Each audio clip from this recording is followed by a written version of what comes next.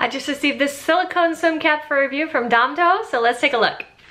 It comes with earplugs and a nose plug, which is really cool. Comes with instructions on the back. It also explains our after sales guarantee. If you have any problems or if it tears, they'll replace it. It does smell, but I'm guessing that will dissipate in time. I like the design. It's a very cool and unisex pattern. It's really stretchy, made of high quality, durable silicone, which is antibacterial, tear-proof, waterproof, non-toxic. Here's the inside. It's a really great anti-slip slip silicone. On the outside is a smooth silicone.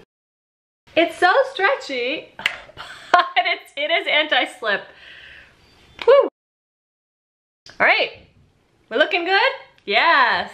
It feels good. It's really grippy to your skin. It's not gonna slip off. Do you see that? it won't slide off, rip off, fall off. It's on there. I love it. It feels great. It's great quality, super stretchy and easy to get on. And I love the pattern. So fun.